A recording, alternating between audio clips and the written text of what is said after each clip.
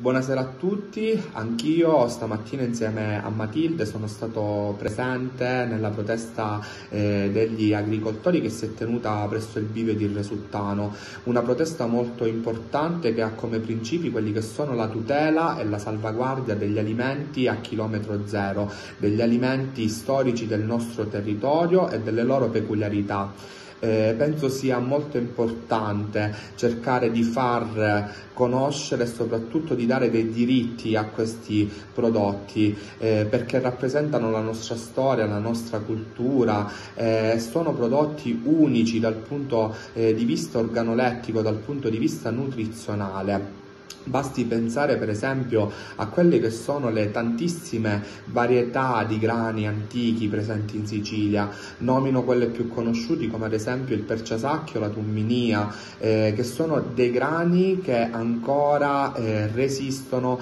a quelle che sono le importazioni, importazioni che molto spesso e volentieri sono dannose eh, perché oltre ad venire da luoghi molto lontani vengono trattati con quelle che possono essere delle sostanze nocive per la nostra salute.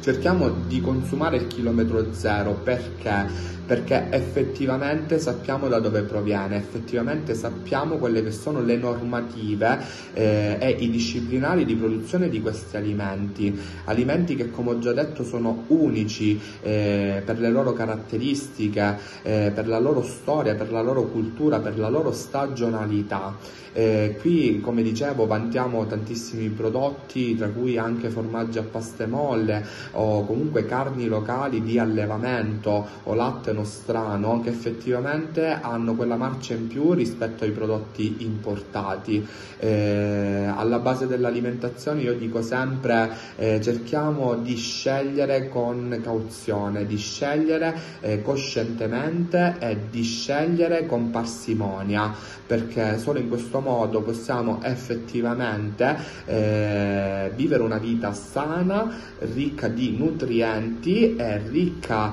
eh, di alimenti che effettivamente ci appartengono.